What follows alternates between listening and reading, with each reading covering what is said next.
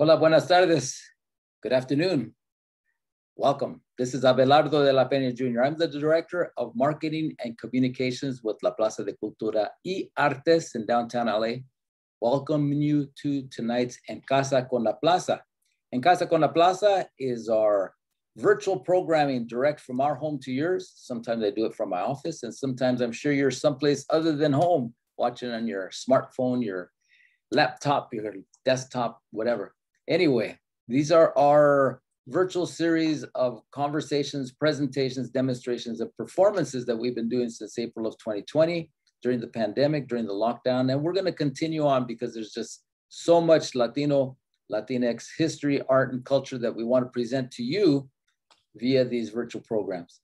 Uh, if you're on Facebook, use the chat or use the comment section, use the Q&A. Let us know where you're viewing from, ask questions. We'll be taking them throughout the presentation that we're featuring tonight. Those of you who are uh, uh, uh, uh on Facebook, please use the comment section as well. You could tell us where you're viewing from, ask questions through there. We'll be uh, taking them as well. And I'll be sharing them with our presenter and to introduce him today, John Urquiza, John Tapia Urquiza. He's worked as an advertising art director and designer for the first half of his career. His array of clientele and projects, they range from Asia, Europe, all over the US, but he's most proud of his work with nonprofit organizations and public projects in his native LA. In the midst of his commercial work, he began teaching design and photography, lecturing for many years on visual communications and production, eventually transitioning into publishing as the editor of photography at a fashion industry publication. In 2012, he embarked on a research project inspired by photographer Don Normark's book, Chavez Ravine. I'm sure you've seen a lot of these photos, uh, historic photos that he took, I think it was in the 40s and 50s. He's uh, John is recognized in he recognized in the images the same faces as his aunts, his uncles, his tias, his tios, in a community that was wiped out by the corruption of LA city of LA and different governmental entities. Uh, he developed these photography workshops that his research continues through today, examining the effects of gentrification on the predominantly Latinx community of Northeast LA. Currently instructs an immersive college course called Visualizing Gentrification, Bridging Land Use Data and Visual Ethno Ethnography that explores community level research around the effects of gentrification. And I've known John for a, a few years He's uh, both in his uh, previous professional life as an advertising art director, but most recently, of course, as a community activist, as a community community leader. So come on up, John. Uh, why don't you unmute there, John? I, one of these days, I'm going to get the hang of it, and the COVID's going to be over. So you and me both. How you doing, man? It's nice to see you again for after so long. Good to see you too, John.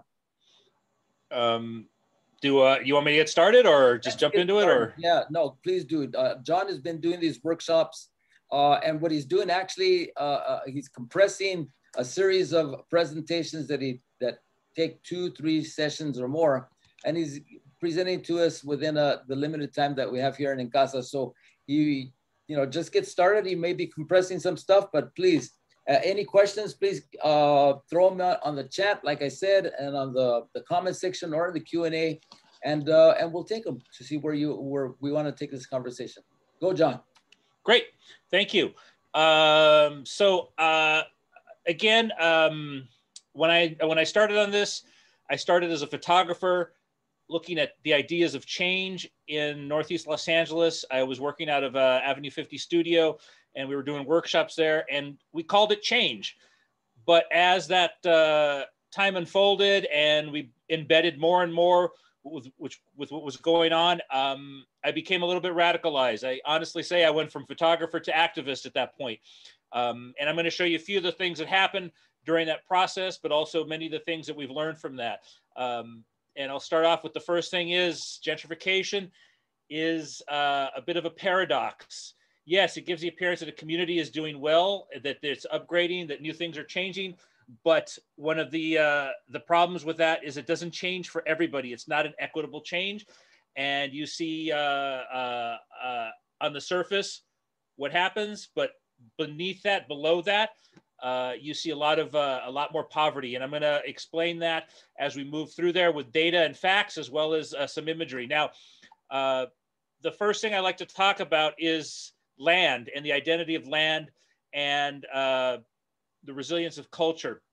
And this is another thread that we can go down, but I'm just going to kind of hit the surface of it and talk about who owns the land that we're in. Now, I'm hoping that everybody who's watching and listening is um, is understands and knows who what Northeast Los Angeles is, and I know Abelardo does.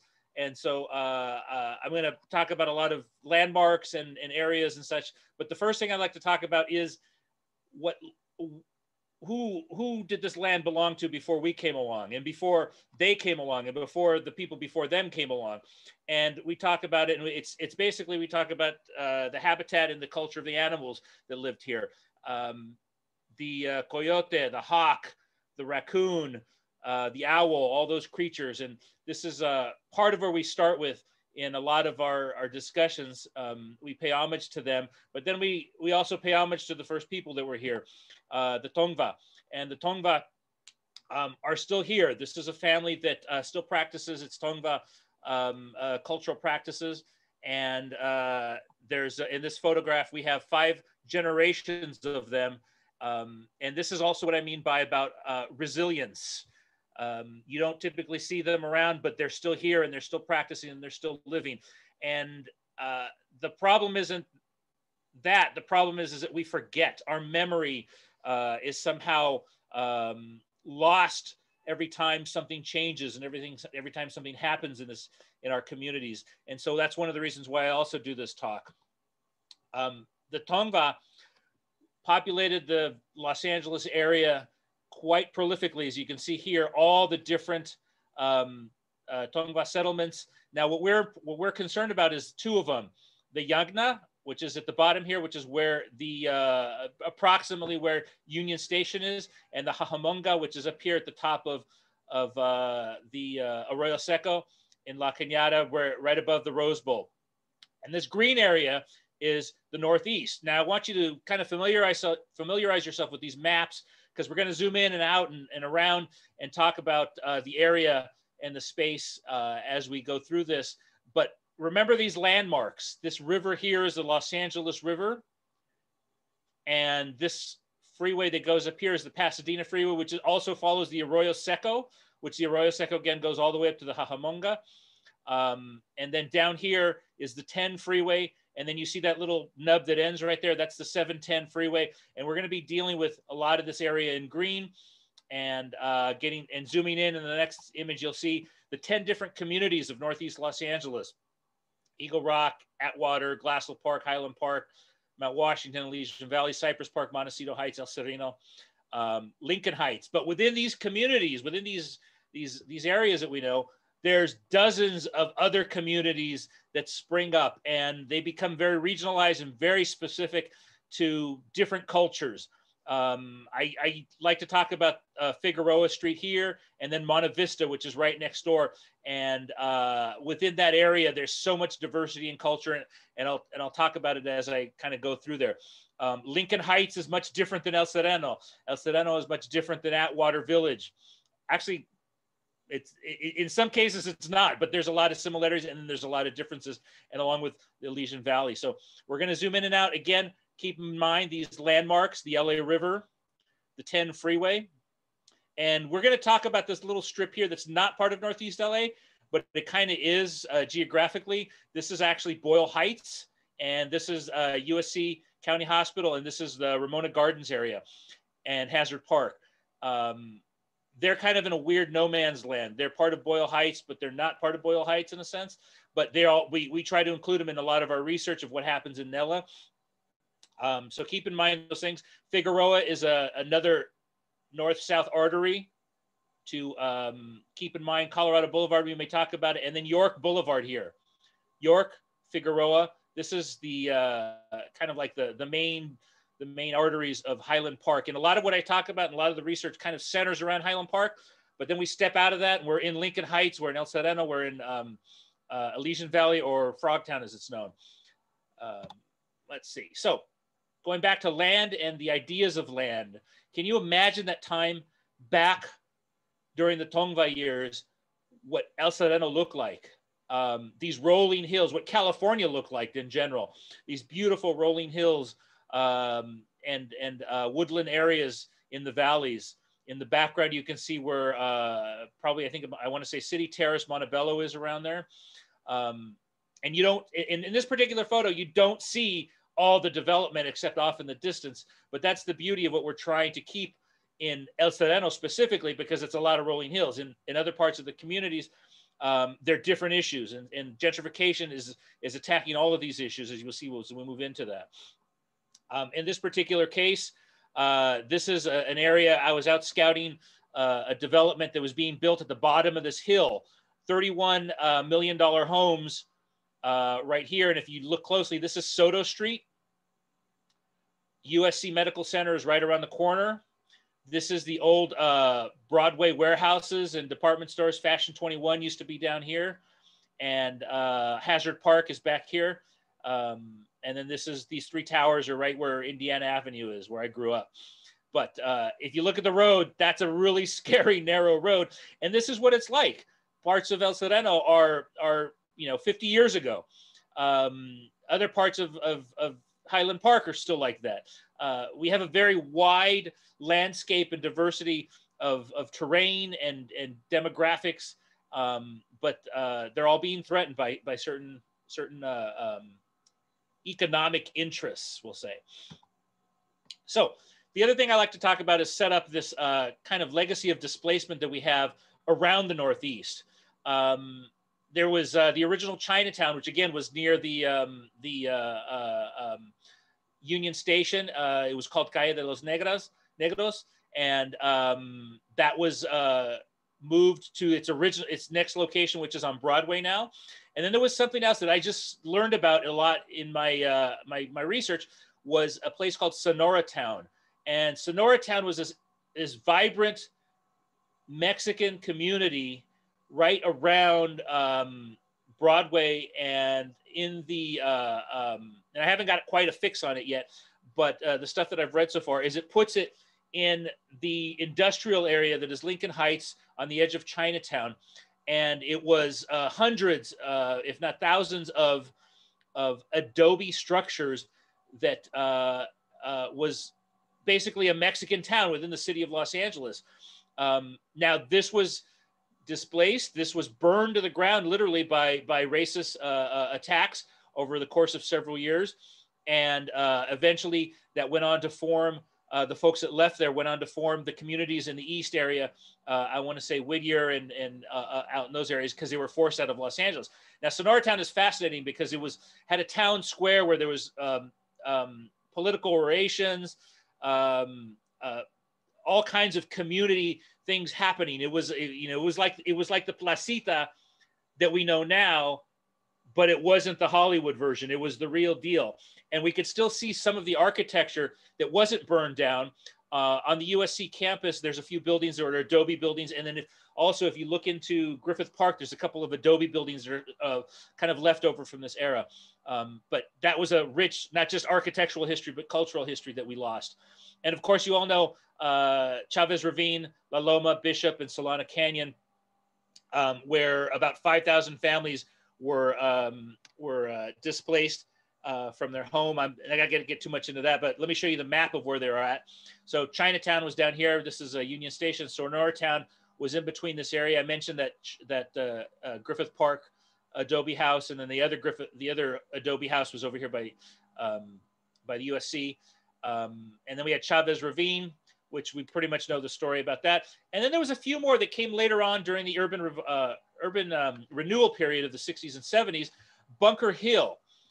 Uh, estimates are between 25,000 and 50,000 people were displaced from Bunker Hill. We know it now as museums, uh, the Opera House, uh, art galleries, um, uh, lots of housing, and lots of uh, skyscrapers and, and banks. But the community that was there before all this was this vibrant Latino community with uh, Filipino elements and also indigenous, um, the diaspora from Arizona that had come to Los Angeles looking for their fortune. and also it was a it was also a big LGBTQ community.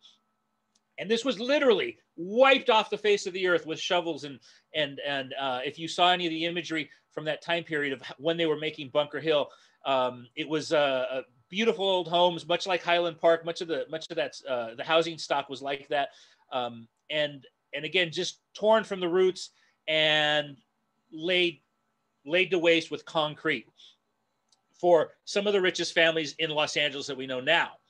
Um, then again, you all kind of familiar with Interstate 5 and the interchange. There's actually a couple really good movies. There's, uh, I think Sabrina Colette is going to be on your, your talk pretty soon. And she did a movie about Interstate 5 and the interchange there. Um, and then there's also uh, a good movie about Bunker Hill called The Exiles, which um, which is a beautiful as photography goes. I love watching that movie because it's beautiful to watch. Um, and uh, nobody's made a movie about Chavez Ravine, but uh, all in or Sonora Town or even Chinatown. But these are all important uh, uh, spaces that were lost to some type of displacement. Again, not necessarily gentrification, but the same economic forces. They wanted it and they took it and they made it theirs. And this is kind of like what's happening in gentrification. And I'll again describe that as it, as it happens. But what we talk about in this thread, and usually when we, if we had the time, is we look at, we try to examine how should land be valued, and that's just a question I want to put out to you guys. How should land be valued? Is it economic productivity? Is it cultural productivity? Should it be uh, determined by the population or the people who own it? A lot of the land, well, most of the land, all of the land actually, is stolen land that we're that we're living on. So who has claim to that? Who has um, you know value to that? Even even you know, notwithstanding the uh, the theft from the Tongva people, we also have land that was stolen by the next generation of, of carpetbaggers. Um, uh, a friend of mine is doing really great research on on, on that local stuff, um, and he was discussing uh, uh how uh, Northeast Los Angeles, Highland Park, uh, were basically kind of I say, yeah, I, I, I don't want to go quite far and say is robbed from the original uh, Spanish land grants of the um, of the uh, San Rafael uh, um, uh, uh, uh, rancho that was there, but essentially the guy who took it took it based on a tax lien that he that the person couldn't pay. He took the land, um, but he got his money. the the name was uh, Glassell, named after Glassell Park, or Glassell Park was named after him. He bought that entire area with money that he'd used from his family that had sold all their slaves in the South. Um, and uh, hoping uh, Luis Trujillo, who's writing these papers, will uh, get published and look for his name out there. And he talks a lot about this stuff. Um, but again, how is land valued? Who, who has the rights to it? The people who are living on it and, and making it productive, uh, the people who have title to it. Uh, think about that for a minute as we go through this process. Um, and how much say does the government have in it? Right, right now, I'm going to explain how we've come to the present time, and the government is a big factor in a lot of what's happening in gentrification, which I'll explain in a second. Um, the first thing I want to talk about, though, is a couple of the two of the eight studies that we've done. The first one is a displacement study that we did along Avenue 57 and Avenue 52, and it was kind of um, triggered by our local city councilman who said displacement is an urban myth. This was in the Los Angeles Times when he was running for office. And all of our housing rights people just kind of flipped out. So I said, we got to prove this wrong. So we went into doing this study. Uh, we looked at uh, this area here. As you can see, this is Figueroa. Uh, York Boulevard is up here, but Figueroa, I mentioned Monte Vista is right here. This is the gold line that runs in between them. The green area is the area that we studied. The red area is business district. This blue area was a second study that we didn't get to. Uh, but we found so much information within this study here, um, which I'm going to share in a second, that it, it just it kind of like we just knew we didn't we didn't need to know anymore. And the point of this study was uh, proving that displacement is real and that this is this is an example of direct displacement basically. And I'm going to talk about both of those two: direct displacement and indirect displacement. In direct displacement um, people are, are, are literally forced out by the first first level of, of owner or persons who own that. So in this study, uh, we found 1,200 units along that along that space that I just showed you, 1,204 units, and of those 1,204 units, we es- we estimated based on um, on personal interviews and looking at the property sales that 23% of the population in this area was displaced.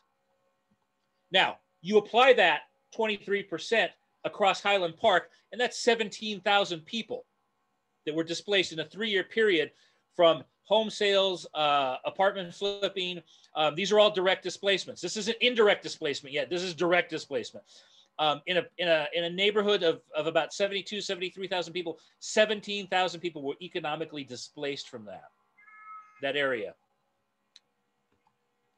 um, some of the other stuff that we found this was I, I, have so many facts on this i pick them choose them really carefully this one was always strikes me this particular uh, piece of data always strikes me that a, almost a third of those people of families living there were single parent families and when we get into the organizing and I start talking about the people and, and, and folks that we that we organize with in housing rights, it made sense. We started seeing a lot of single mothers um, fighting for uh, um, fighting for their housing rights. Um, but this this proved it. 18% single parent uh, uh, female families and 8% uh, uh, male parent families. And then the 31% um, were no families at all. A lot of those are the newer folks that moved in that didn't have kids and then we had other families at 43%. But uh, that's how it breaks down with families. And I was astounded to see so many single parent families in Highland Park. Some going back in the way back machine, uh, in year 2000, the median home price in Highland Park was $159,000. I need an echo machine for that. $159,000. Okay. Um, a little more of the population was foreign, a third of the population was foreign born uh, Mexican, Salvadoran, Filipinos, Guatemalan, and most of that, or more than half of that population, came to the U.S. before 1980. Uh, in 2010, the median home price was 380,000 to 479,000. We found on the high side. The Latino and Asian populations contracted. The black, popula- black population increased 0.2 percent. Family size shrunk from 3.8 percent to 3.1 percent um, because we were already starting to see some displacement at that point. So the next one, the next slide, I, I just, I, this I want to impress upon you how great this is. This is, this is uh, in 2010, there were 73,000 73, people in Highland Park proper. Um, in 2021, there is now 63,000 uh, people in Highland Park, um, which is a huge decrease the re- what, what happened was is the Latino population was 72% at one point. Now in 2021 in Highland Park, the Latino population is 51% of the population. We're barely the majority in Highland Park. Um, this again fits with our census data as to what was happening, uh, and with again with our study that we lost 23% of our population um, due to displacement. Uh, and displacement takes all kinds of forms indirect displacement direct displacement a direct displacement could be uh, a raising of the rent an eviction harassment um, all these different things but in reality that 17000 is even higher because we're not factoring indirect displacement now policymakers love numbers like this but i again one of the things i noticed when i did my talks with just photography is that it didn't it, it, like it resonated but this data like this kind of changed the idea of what was going on. It was, um, uh, uh, and so I'm kind of flipping around my presentation. Sometimes I start with photography, sometimes I start with data. Today I started with data, and I'm going to bring go into the human side. But but I've realized that you need both of them to make an impact because um, one is abstract and the other one is too real. Uh, and uh, it doesn't, it, you know, it could be anecdotal if you look at a photograph of somebody and say, oh, they got displaced. So I try to really bring the impact of this to folks on how and what is happening. Now, right now, uh, in the future, uh, these are the next big drivers of gentrification. Uh, this is from the next study that was in Lincoln Heights. And you can see here the rivers again, the uh, Arroyo Seco, the 10 freeway. We have three major projects going on. Three, again, much like the urban revitalization of the 10 freeway, uh, the interchange, uh, and uh, Bunker Hill. These are three major infrastructure projects. The Los Angeles River Revitalization, which expects up to uh, six six billion dollars in investment. It's either four or six. I have so many numbers in my head. I apologize, um, and I get confused. But I believe it's either four or six billion dollars in, and that's B with a billion. Echo machine right now. Um, this is uh, uh, of investment in this purple area um, known as the Whittier Narrows. Uh, I'm sorry, the Glendale Narrows, and um, one billion is coming from the city. 1 billion is coming from the federal government and the other 4 billion is coming from private investment. The other big infrastructure project is here is the USC Biotech Corridor. Remember that photo of the hillside and the car hood? It was taken right here looking down this valley and right around that bend on one of those tiny little tiny streets up there. This area is actually zoned as farmland along this hillside. And then you have Ascot Reservoir. But the USC Biotech Corridor wants to go from U, Cal State U, U, Cal State LA all the way to the USC campus, um, and uh, they want to be able to uh, turn that whole corridor of industrial land into office space, hotels, excuse me, and um, uh, uh, biotech offices, research facilities, medical labs, uh, uh, and what they're what they're they don't have a, an investment number that they're releasing, but they have an aspiration that it will be an $8 billion investment from private investors. USC hasn't talked about how much they're actually investing into that area, but um, uh, uh, they're, they're wishing that it could be $8 billion of investment in this quarter. So you have $8 billion on one side, $6 billion on the other side. And in the middle, there are people who are still paying $700 a month rent in some of these places around here. Now, there's one more place that I didn't mention, and it's this red line here called the CASP. Um, the CASP is known as the Cornfield Arroyo Specific Plan. And um, that is because it's named after the Cornfield Park that's here. Uh, that was an art project. This was all land that was all owned by the railroad and is now owned by a, uh, uh, I believe, a, a, a, part of the state, but also um, the, it's run by a nonprofit whose um, family, whose president of the nonprofit is was a former family or a family member of that railroad company called Catalyst.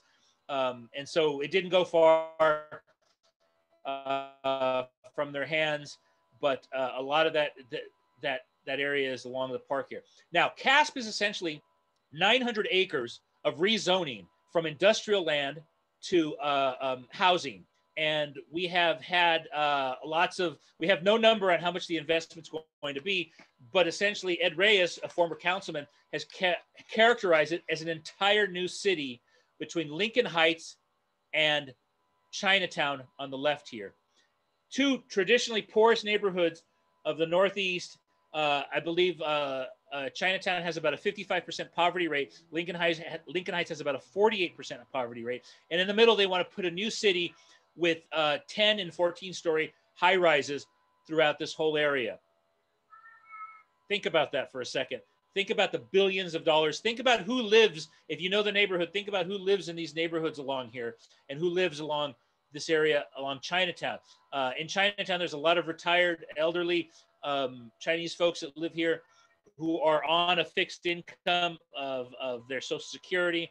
Lincoln Heights is a huge immigrant uh, community um, uh, with um, you know, and and then there's a few. Uh, uh, I'll, I'll, get into the stats in a second, but but think about this for a second. We're going to get back to it and talk about it a little bit more. But these are the next big um, things that will be driving gentrification, and how we got there. I'll show you in a second. Oh, here we go. So the neighborhoods that I mentioned: El Sereno, Lincoln Heights, Chinatown, Frogtown, Glassell Park, Boyle Heights. You can see here Chinatown the one with the 55% poverty rate, is also 89% renters. That means 11% of the population owns all that land that those people live on, and they're the ones that are going to make the money when the when when uh, when they start uh, building all those. High, well, actually, they've already started building a lot of those high rises. Um, the next highest one is uh, Lincoln Heights with 69% renters, and then uh, El Sereno, Frogtown, Glassell Park. I mentioned how similar they were. This is why they are called bedroom communities, where there's a lot of home ownership, which kind of mirrors what's going on in the state of California. The state of California is uh, 55% renters and 45% um, uh, landlords. Um, or reversed. I'm sorry. Uh, and then Boyle Heights, uh, I can't see it because the the windows there, but Boyle Heights is again is one is is is up there. 81% renters, um, and those homeowners are the ones that are going to make off, but they're the renters are the ones that are going to get clobbered by all this. Oops. Now, this is uh, I'm going to jump into it. Bear with me with the technical stuff and the mapping stuff. Uh, there again, we see our LA River. This is what we call a rent burden buffer. This is the uh, uh, the um, uh, biotech corridor, also known as the Health Science Campus expansion, the LA River, and the rent burden buffer basically says that within these three areas, the rent is going to raise at three different uh, uh, um, uh, um, three different uh, uh, um, levels. Closest, it's going to be the highest and most uh, dangerous. Uh, uh, we don't have a percentage on that, but anything that, that, that, that's close to this is going to be a very high rent increase. And by the end of it, it's going to be it's going to subside little by little, depending on its proximity to again all the pro, all this amenities that are going to be coming in here of this. In in this case, there's dozens of luxury condominiums and dozens of, of, of parks of park and uh, green spaces. Uh, this is going to be office and um, and biotech. And something that we're seeing already is right around here is a 42. Well, even here, where I where I pointed out the photograph that was taken, this is this is the 32 million dollar homes, 32 one million dollar homes right within that buffer, um, because when you make a biotech science corridor and you have all these uh, research facilities, they primarily hire PhDs who are making $200,000 and above. Them being able to afford a million dollar house is probably not a big hardship. The statistics that we had earlier. So this fits well within our rent buffers. Rents are going to go up, land values are going to go up, um, and so on. But uh, uh, now our rent buffer We've kind of ended it here at the freeway, even though it continues. So the numbers you're about to see next only take into account everything on this side of the freeway in the Northeast LA. It will probably be even bigger and more if we included these numbers. But again, I'm sorry, I tend to focus on Northeast Los Angeles like that. We have in that rent buffer area 103,000 renters that will be at risk. Echo Machine, 103,000 people at risk. Now, if we apply what we learned in the first study, that 23% of that population is going to be in, is going to be directly displaced when these properties start flipping, we're going to see 37,000 people directly displaced in that in that corridor, in those two corridors between El Sereno and Frogtown and Atwater. That's 37,000 people and I, I mean, it boggles me sometimes when I hear that number, uh, and I don't want to get desensitized by it. So um, I just I, I think about that for a second, and I'm gonna just keep that in mind for while we talk. And I'm gonna go in with what with with what I talk about mostly is uh, gentrification is violence, and uh, I'm gonna explain that as it relates to the data that we just saw. Because a lot of people think again in the abstract 37,000 people have to move out of the neighborhood. They don't think how traumatic that is. They don't think of the of the of the of the actions that happens that they just think oh they're going to move someplace else and they forget about it. Well it's not that simple it's far more um, egregious and and far more um, horrifying and traumatic if you're one of those families and, I, and, I'm, and that's what we do and that's what we talk about mostly in those cases um, in gentrification, we have what I call the six fingers uh, of, of, of, of, of, greed and, and crimes. Um, the first one is, again, tenants' rights. And we've seen a lot of tenants' rights happening in the last several, three, four years. And a lot of it has become because has, has come to the surface because of, uh, of the displacement issues that we're going to, I'm to talk about a little bit more in deep, in depth. But then we also have homelessness. And that we know of. We see that every day on the streets. Um, this has also exploded. We have, I want to say, 54,000 homeless folks on the streets right now, and that number keeps changing. It keeps keeps climbing. When I first when I first started talking about homelessness, it was is around 37,000, 40,000, and it just keeps climbing and keeps climbing. Um, and these are also areas of study and also threads that I go deep into in other discussions. Um, the main thing I'm going to talk about where we're at now is land use and planning, which I'll get into later. And then we also see a lot of discrimination and criminalization of, of people of color. Uh, this is a huge one. In the USC battle right now for USC's expansion, uh, communities are fighting against them because, and, and they're fighting against um, uh, abolishing the USC police because they harass the community kids in the area and they criminalize them uh, and stop them. And the USC police actually has policing powers. Um, they can arrest you if if they see cause, um, and they're the only uh, college campus safety officers that can do that that we know in the Los Angeles area. Occidental, where I teach at, doesn't have that. Um, Loyola Marymount doesn't have that. Only USC, and uh, a lot of those folks uh, think that that that's, this is wrong. Another thing that we see is thefting of culture and businesses. We see a lot of appropriation of Latino businesses because somebody moves into the area and they think, oh, it's a Latino business. I'm going to be Latino too. And uh, we see some of that culture disappear. But also, the businesses are also affected by this displacement factor of direct and indirect displacement. Um, just to briefly talk about that, um, there was uh, in, on, in one year in 2015, uh, that was probably the height of displacement in Highland Park. We saw, uh, I want to say, five commercial buildings on Figueroa uh, sold during one summer, and we lost about 22 businesses. Um, and several people became homeless because they lived upstairs and they converted those apartments into offices or creative offices. Uh, and we saw also some Airbnb units come in and take over some of the affordable housing. Again, affordable housing is that is that housing that's built before 1987. This again, this is all before the rent control laws have started to change. Um, and, uh, and, so 22 businesses with only five buildings sold. Uh, and, uh, and, and we see a lot of that. And then the last one that a lot of people don't know about and don't talk about much because we don't know a lot about it. There's only a couple people doing research on this. Uh, a doctor, Fullilove out of Chicago, and um, a study out of uh, Oakland by uh, Causa Justa was done that explained uh, that in gentrifying neighborhoods, the elderly and the poor uh, their mortality rate is higher than every other group in those gentrifying neighborhoods. Um, I didn't catch the percentage on that, but uh, Dr. Love also talks about this in, in, in her work.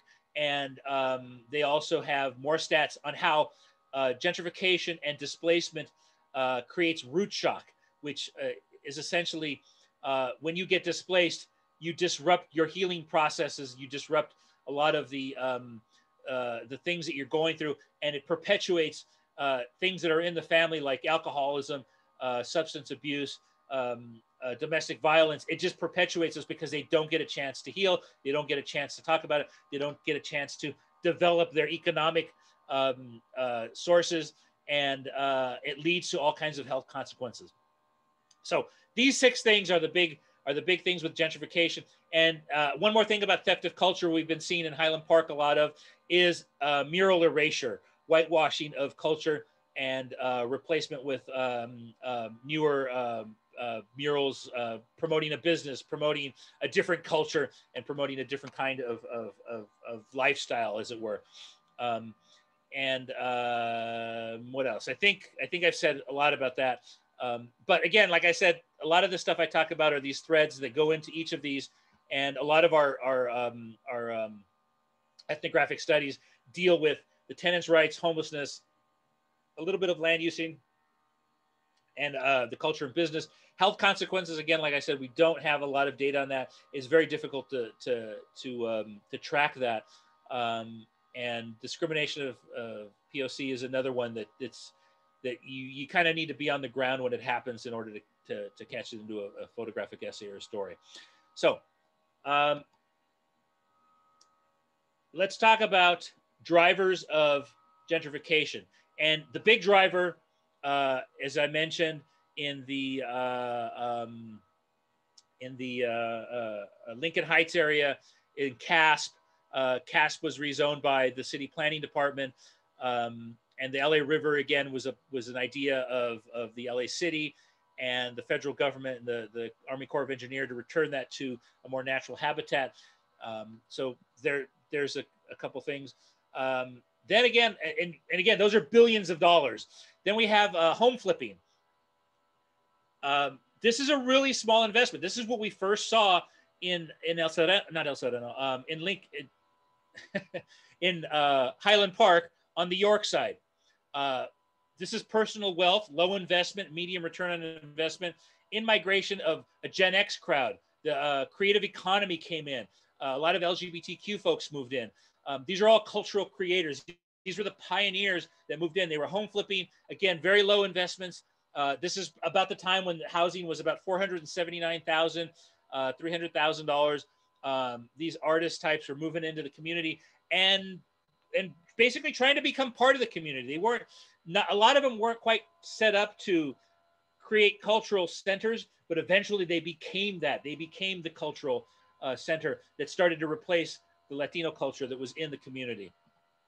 Um, here's a good example. Uh, uh, again, I in bed with people. I try to make myself friendly, but then they don't realize that, you know, they tell me these stories. And I don't mean to disparage them by saying that they're bad because they don't know they're bad. But this is what the guy told me. He says, Yeah, I bought this house for $250,000. And this is a developer. He lives in Highland Park. He's a person of color. He has three kids. Um, he uh, works in the entertainment industry. He bought this house for about $250,000. He sold it maybe three to five years later. Uh, there was a woman named Dolores living in there. She lived there 15 years before he even bought it. Um, and uh, she was uh, living on a um, Section 8 housing. So a lot of her rent was subsidized. And uh, he sells this house for about 475,000, almost $500,000. And he made almost a quarter of a million profit on this one house. And this is around Avenue 26 uh, in, in Glassell Park. Um, so he, the guy who bought the house was from Chicago. Never saw it in person, bought it on the internet, just as is.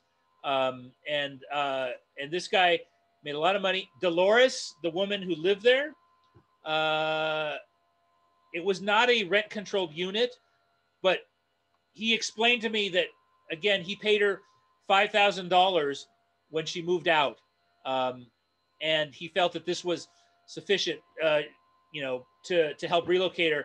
Um, and I'll explain that process in a second. But Dolores ended up moving around the corner uh, to another uh, small house. I don't know what's happened to her since then. This was probably around 2014, 2015. Um, but $5,000 is practically nothing. The city, uh, when you pay relocation fees, the city suggests that, you, that, that it's a minimum of $7,500. Um, and some people have made uh, upwards of $75,000 as relocation money uh, because the values are so high on, on property that $75,000 is nothing. They will make that back. The landlord will make that back in a matter of a year or two by raising the rents double if not more than double. So this developer uh, only did one house, uh, one or two houses. I actually I only did one, but he made a quarter million dollars with expenses of about five thousand dollars for Dolores's relocation. But I've interviewed developers that were doing 15 houses a month in Highland Park. Uh, and then when Highland Park dried up and it was too expensive for them, they moved to South LA. Uh, they would look at 30 to 40 houses and buy 15 of them slap some paint on them, do some renovation, sell them. They would make about 15,000 to twenty thousand dollars a piece on each of those houses, um, and then they got too expensive for them. So this home flipping was a was a was a small industry going on for quite some time. With that home flipping, this is a, a cafe de leche, which um, uh, uh, I always call is the um, the the uh, um, what do they call it the um, the epicenter of gentrification on York Boulevard. And this was probably the first thing to go.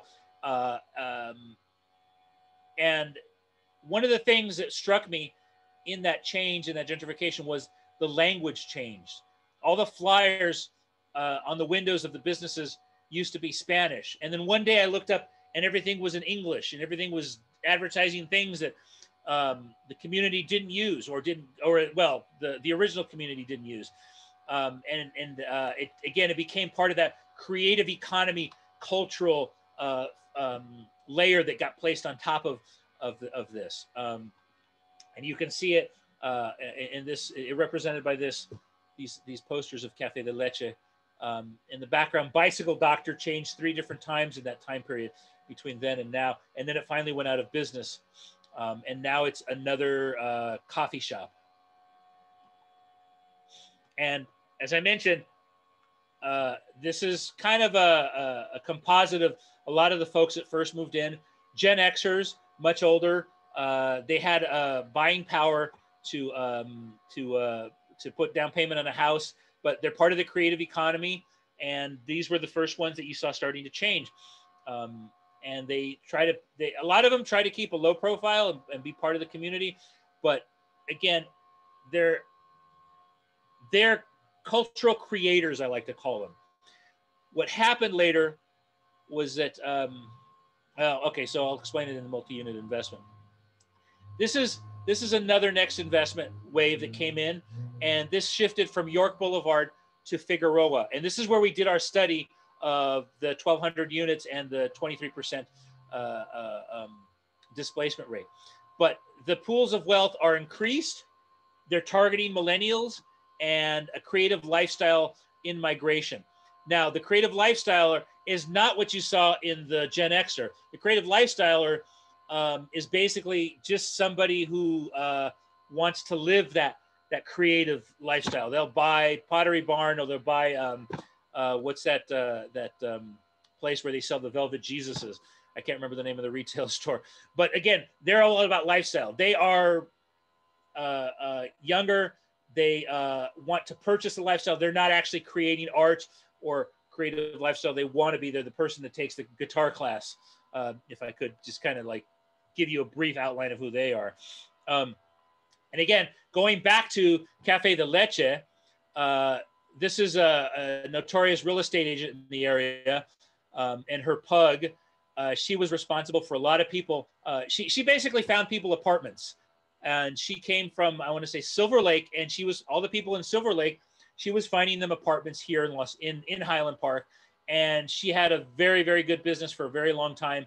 Uh, I don't know how she's doing now, but essentially, um, uh, uh, this is the, again the neighborhood started to change. I would sit in that exact same chair and have my coffee because my office was upstairs. Um, and uh, in the very early days. And I remember I could hear Spanish being spoken all around me, and maybe 10 or 12 people an hour would pass by.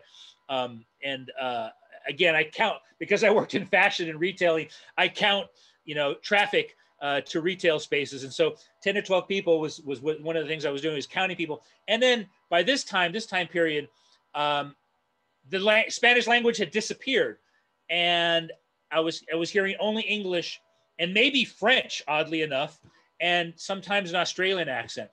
But the traffic increased from 10 to 12 people per hour to nearly 40 to 50 people per hour. Um, and again, boggling that the change would happen like that. But think about that. With that, that doesn't just mean people, that means revenue to these businesses. That revenue means taxes to the government. It all means an increased uh, uh, uh, uh, change in the economics, not just people coming in. And again, gentrification isn't about just about people; it's about economics.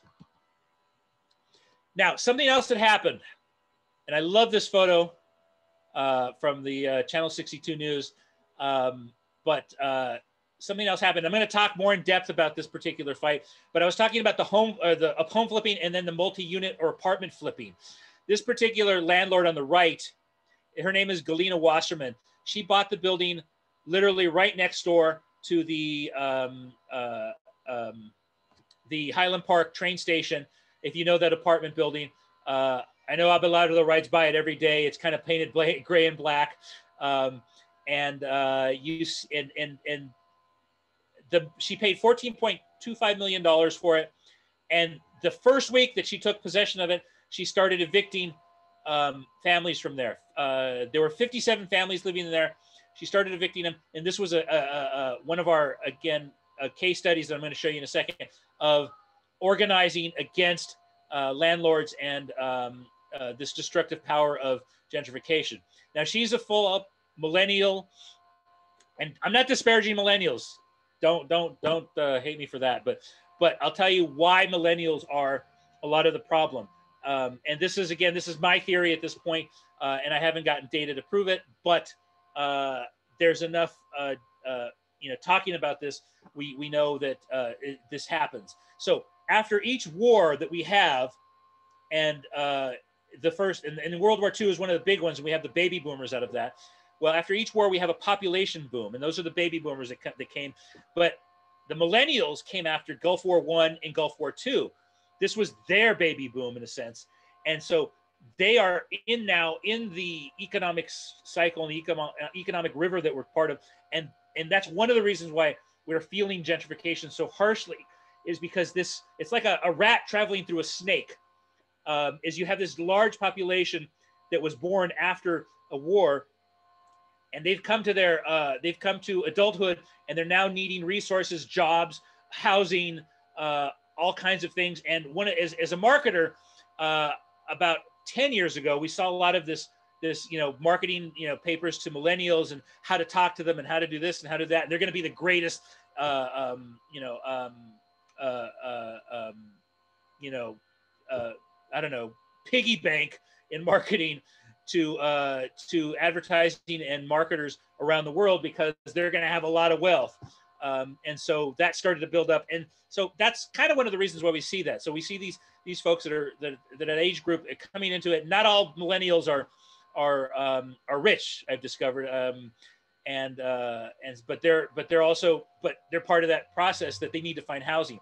And the guy biting his lip is their attorney is her attorney, and I forget his name but watch out for him if you have to fight him for an eviction. He's pretty, uh, pretty dastardly. Um, so this is what happens in the multi-unit uh, waves. The next thing is now a next another wave of, of home investment, higher capital investment, long-term return on investment. Uh, these people want to move in, but they're uh, more lifestylers and creative economy, but they're also the mainstream people that move in. Uh, people that are, uh, um, you know, pretty vanilla, if I may describe them that way, uh, about their things. And and they they you know they they they follow the trends. They don't make the trends, and so they also have a lot more money, and uh, that pushes the prices up even higher for a lot of things. Um, I'm showing this photo. This was uh, one of the first protests. Again, there's our favorite spot. The epicenter is Cafe de Leche, and, and um, uh, this was one of the first marches in 20, late 2014, and uh, uh, this was done by NELA, which I'm going to talk a lot more in a second. But uh, these guys uh, are went around the eviction mark basically started here and went down York Boulevard and went down Figueroa and uh, essentially eviction notices on all the businesses that were uh, that they considered gentrifiers in there, and they were well vetted a lot of the businesses uh, were new. They were uh, not um, friendly to uh, locals. Uh, their prices were too high, uh, and they weren't culturally re- culturally relevant to the community at that point. I think I might have a shot of that. But I want to point out the guy to the right holding the open house sign. He's a realtor, and um, he uh, was in the neighborhood. And I want keep an eye on him because we're going to talk about him in a second. Excuse me.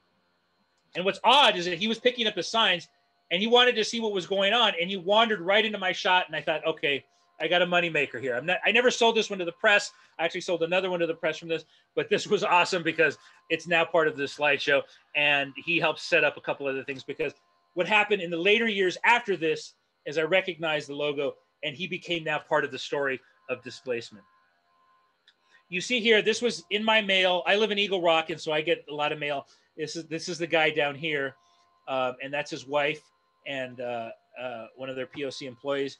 And um, they recently sold this house in Highland Park on, I forgot what street it was, but if you read the, the postcard, you'll see it, uh, for $1.4 million in Highland Park. Uh, and this is, I want to say it's off of Monte Vista, one of the streets I was talking about. But uh, again, um, they this was years and years of development they are now reaping the benefits of this.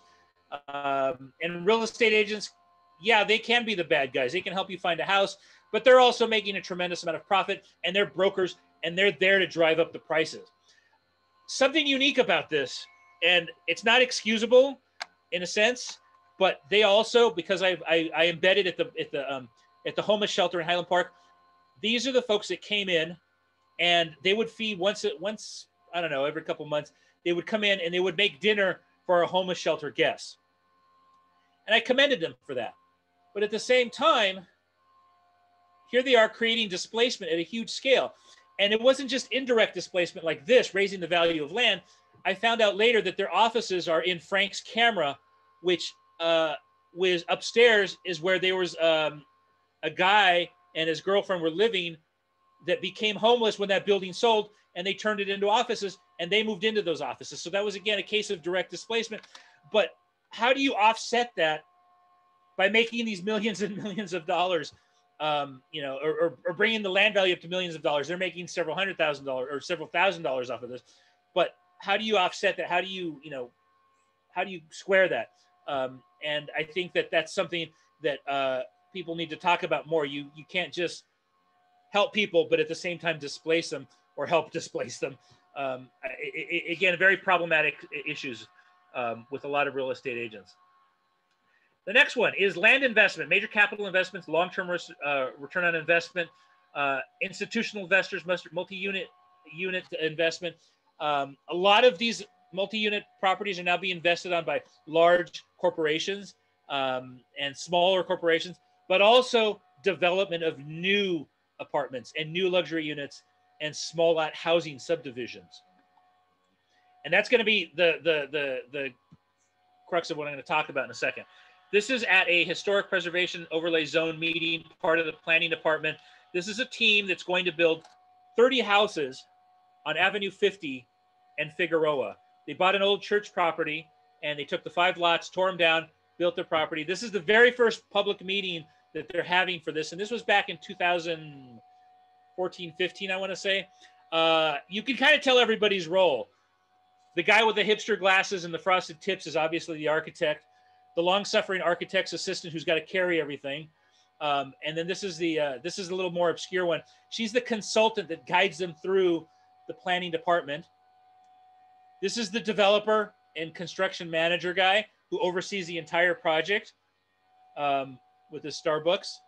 Uh, and then this guy is from the family that owns the building or that owns a development company, and he's the son of the developer.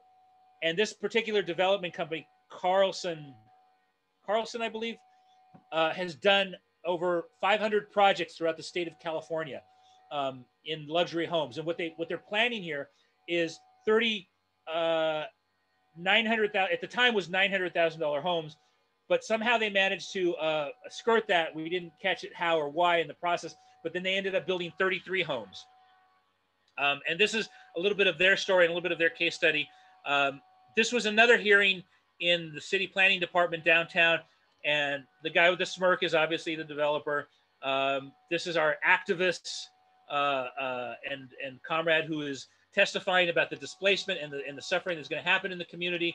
Again, using that rent, but, rent burden buffer uh, uh, of the units and the apartments that are going to raise rents as a result of this.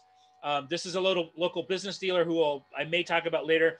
Um, there's our um, our uh, uh um, uh, uh, planning department assistant, and then this is the architect's POC diversity hire that they brought in in case they needed to to, to, to speak to that.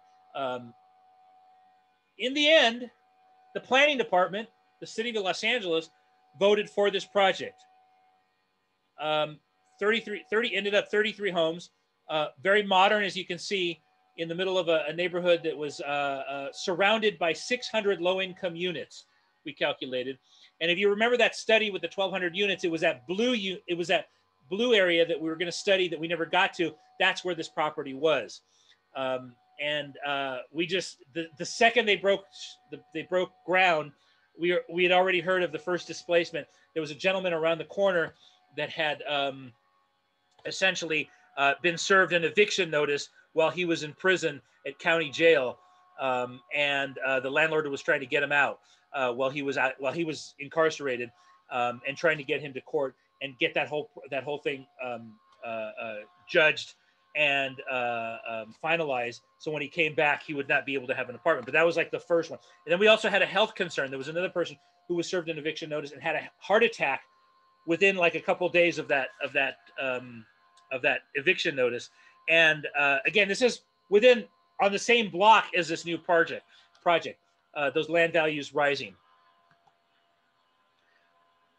I want to leave you with this. This is a current map that we'd started on the study. Again, you see the river and uh, the uh, uh, biotech corridor.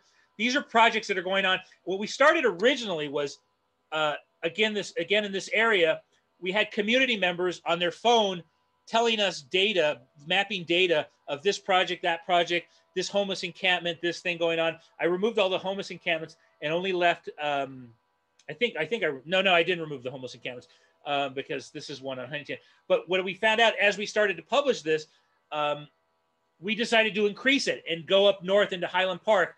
And so this is about uh, 30 projects, and some of them are not on here yet because this map is constantly changing. We actually have three more to add in El Sereno. I mentioned that 32 luxury homes uh, on that spur of the um, of the uh, of the uh, biotech corridor, and then there's another here on Lombardy and um, uh, uh, Eastern Avenue. Both of those are tied directly to USC in the sense that, again, where are these, you know, uh, PhDs and, and researchers going to live uh, in, you know, what kind of housing are they accustomed to? It's going to be these two places that, that they're probably going to afford to uh, be able to afford. Um, but that's El Sereno. If you look over here, we actually have the Hyatt Hotel, which is being built on the campus. We have a Hilton Hotel that has been proposed for Soto Street and Main Street.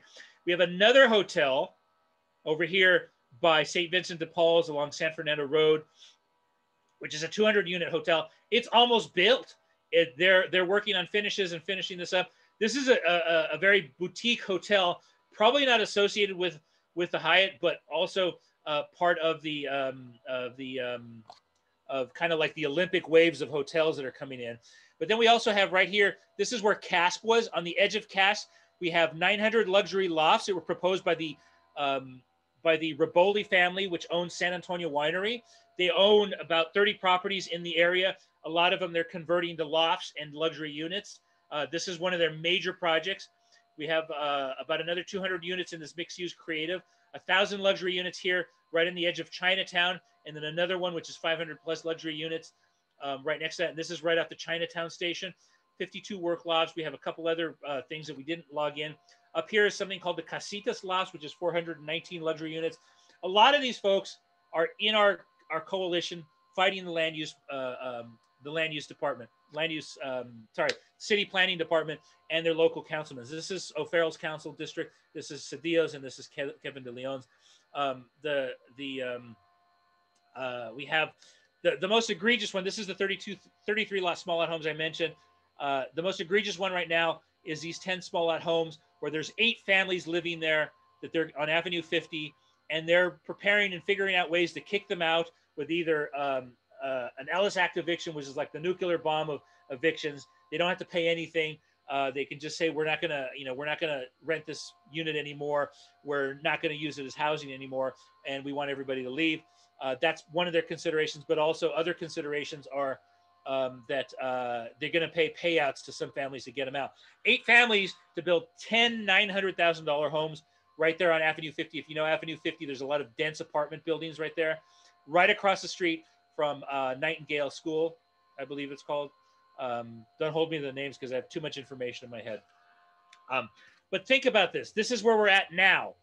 Uh, uh, from a few uh, evictions and home flipping to all these new developments this is the next wave of gentrification is land use and planning. I'm going to skip this because we've already talked a lot about it. Uh, I'm going to talk about art as resistance, art as community building, art as identity. This is across all those communities that you saw in the very beginning, um, and uh, how we uh, how we saw those those areas. Each one is unique. Each one is different. The first one I'm going to talk about is Highland Park, and Highland Park's resistance was due mostly to the Northeast Los Angeles Alliance, which is which is an artist collective. And in full disclosure, I am a member of them. And so a lot of the imagery that you see here is stuff that I've collected and organizing organizing with them. Um, but again, this is one of those processes that, that that I was only there to document, and in that process, I became radicalized, or um, eh, radicalized is a harsh word, but I became activated, and uh, now I consider myself an activist and a photographer and a journalist on these instances. Um, but uh, this was the eviction march that went down Figueroa, and again honoring the uh, the creatures that were here first. Um, it was interesting in this case was that we received, uh, uh, and I think it's still up on LA, uh, one of those one of those local uh, websites. Uh, while we were doing this, Twitter exploded, and we had 300 comments in a matter of a day or two talking about this, and how the white folks that were that were in these bars and restaurants as we were walking down putting up evictions notice called us out as racist um, when nothing of the sort was on those eviction notices we were talking about economics. We were talking about uh, being um, you know uh, uh, um, uh, accepting by the community and being uh, inclusive with the community that was there. Um, and i may have a shot of, of, of the a close-up shot of the of the eviction notice but again these are artists this is us planning that that particular thing, um, and this is again something about act, activists and organizing that becomes a very intimate affair. Um, and for those of you who are activists in the crowd or want to be activists, uh, this is something that you have to you know you have to go through this process of trust and and uh, uh, understanding each other. And I was at this point I was an outsider, but um, I became part of the group. I was absorbed into the group, and as you can see, everybody else is considerably younger than me. Uh, but uh, we organized and we organized uh, to uh, for the same causes and the same reasons. Other artists came along later. Um, I was lucky to, to jump in when I did and see them grow from this. Uh, it was it, there was about 30 us 30 of us in this collective and because of gentrification half of them were displaced actually more than half were displaced from highland park and now uh, there's no there's probably less than nine probably less than 10 of us that organize now uh, because of gentrification. But the other folks got pushed to South LA, so they organized there. Um, and one of the uh, uh, the big signs uh, that came out of uh, one of the art things that we were doing was a lot of signage for the different battles that were going on. Um, now, by no means was this the first. One of the first um, um, things I attended was an Echo Park, and this was 2014 and they were fighting gentrification. And if you know if you know uh, Echo Park, that became a very ugly battle uh, where organizers took on the neighborhood council and uh, literally shut down those meetings. There's some YouTube videos out there that are craziness um, as they are trying to gain control of development because what, what the neighborhood council was doing was basically voting for every good uh, development small at home apartment building everything that that you know that, that they wanted. They wanted these amenities and they weren't doing anything for the people that actually lived there. So the people who lived there the long-term residents rose up and took over the community uh, tried you know, attempted to take over the neighborhood council and other resources that were in there. I don't know where that battle is now. Uh, i've lost kind of touch with a lot of folks there. Um, but again this is another march uh, talking about our identity and who we are uh, as a culture and as a people um, to show how how how we overlap with each other. Um, Latinos are multiple subcultures. If you study the if you study this process, there's Chicanos, that uh, there's folks that that uh, identify as Chicanos. There's folks that identify as immigrants, and those are not those are not those are kind of exclusive territories, but they have overlap in, in, in some of them. There's folks that identify as indigenous um, Chicanos, and there's folks that identify, identify solely as indigenous. Um, and so a lot of that is kind of trying to bridge those gaps with culture. And we found one of the, again, one of those ways was culture, but we found that, that we, we found the one that worked for us because we found the one that uh, represented a lot of our membership. And this was from, um, you'll see, this is, the this is from an LA the our first press coverage. The LA Times photographer took a shot just like this because he was right behind me when he took it, but he worked for the LA Times. So this was on a Sunday uh, edition talking about how displacement is ruining the community, and this is before any of the changes. Uh, this business is gone. I was talking about those five businesses sold. This was one of those businesses, or the five buildings that sold. This was one of those buildings that sold. Frank's camera, I believe, is right next door. All of this is is gone. Uh, all the iron gates are gone. Um, uh, they have rollaway now, uh, but but those businesses have changed, and we lost 22 businesses that summer, and this was right before that summer. Uh, the Northeast Alliance in Highland Park, uh, I'm going to jump into a little bit more. Uh, because of our protests and fame, uh, we became a little bit more well known, and so we were asked to do art exhibits of our art. And and this is again, you can see the mask making was one of those uh, endeavors that we brought in community to to um, to um, to into the art processes. We also built uh, uh, the guitar shot you saw was when we were building this puppet, the giant puppet. The um, what do we call him? The uh, uh um, I forgot what we called him, uh, but he was the he he basically was a landlord and a banker. And in one home he had a house, and the other hand he had a bag of money that he was making from this house. Um, and then you see, uh, whoa, um, you see the representation of the river and the Arroyo Seco um, on this, and that was uh, again at Avenue 50 Studios. Uh, this was some of the early uh, uh, uh, platicas that happened, talking about gentrification. And again, you see how youthful everybody is, um, and this is this is where this is where it started. I think this is where the conversation started was with folks like this in spaces. Um, this was a Union Station. Uh, uh, we were invited to a poetry night there, and we turned the conversation into talking about gentrification um, and uh, uh, bringing people in to talk about that. And again, this is probably where I started with them. Uh, again, doing circles um, in community spaces and occupying those spaces and discussing the issues of what gentrification is. And this is a small gathering, but it grows and it builds. If you build community, um, it, it, it multiplies itself, but you have to talk about what community wants to talk about. It isn't driven by the top, it's driven from the bottom up. Um, and that's what you see happening here. Um, and some of those early uh, teach-ins um, uh, we had with uh, we had with organizers from uh, the guys who started the, the LA Tenants Union were at this teach-in, and then uh, again we're not crediting ourselves with that that we were all part of learning this, and so uh, um, these guys came in and I learned from them when I went to one of their teach-ins when we met some folks from from Europe who were doing teach-ins uh, and coming to the states and talking about uh, renters' rights that uh, and how they do it in Europe. And when Europe has a, a, a building in, I believe it was uh, either London or Germany, when they have a protest to um, to fight a landlord, five thousand people show up because they're used to this unionizing effort. Um, and so this is one of those early meetings where uh, NELA um, and uh, a group called oh my God, I'm so bad with names. Um, the um, all right, ask me later on that one. um, but all these groups came together. We're teaching. We're doing a teach-in. We're learning about the processes and things that we need to know, um, and discussing the issue. And again, growing community. From that, the LA Tenants Union is started. And if you know the if you know the area and renters' rights, LA Tenants Union has become has gone from one chapter to I believe 14 chapters, 18 chapters citywide. We have one in Northeast Los Angeles, North Hollywood, um, Koreatown. There's another one in Hollywood. There's some on the west side. There's a couple in the valley, I believe. Um, but uh, again, building community. Ah, here we go. This is the sign. Again, back at my favorite spot, uh, the epicenter uh, um, uh, of Cafe de Leche. This is the eviction notices that were posted that night. You're hereby seen for serve with this notice. You're being evicted because your business is not accessible to the working class with uh, $4 and $5 lattes and coffee.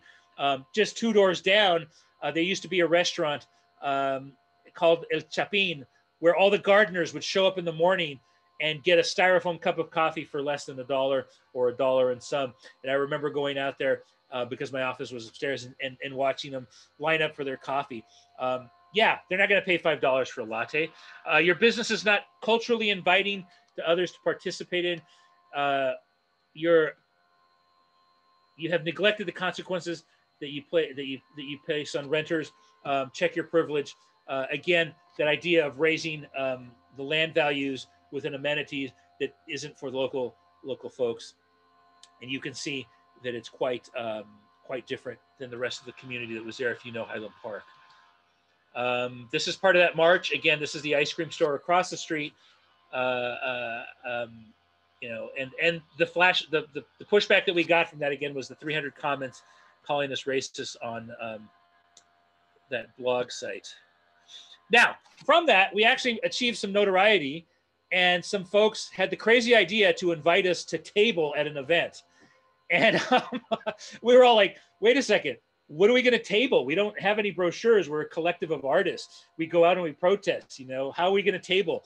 And uh, and uh, we developed a brilliant idea. Well, let's take our table space and culture jam it, and let's flip it, and let's make a homeless encampment and talk about gentrification with a homeless encampment at the El Mercado on York Boulevard um, that's still going on this year. So the very first year, um, we we we uh, did this uh, uh, um, to talk about homelessness because one of the studies that we did was a homeless migration study, and we found that 90% of the homeless people in in the Arroyo Seco were from Highland Park, and that was almost over out of 200 people living in 65 encampments. So we put some of their stories, as you can see. Uh, this one's this story is about May, who's that little figure there, and again, it's photography and story based.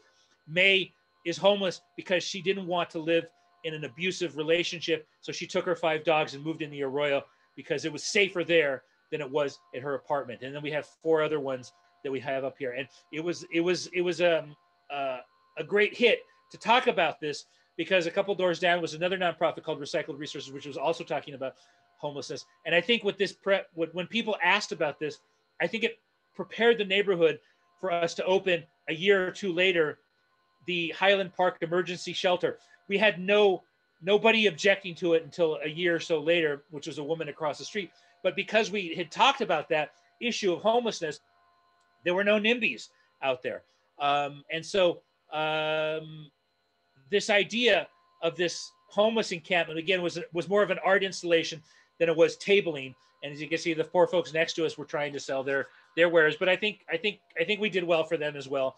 Um, one of the things that shocked me out of this was that people would come up and ask us, "Have you seen my cousin in the Arroyo? Have you seen my brother? Have you seen my friend?" Again, only reinforcing that the homeless population is our community that's being displaced by these raising rents, these rising rents.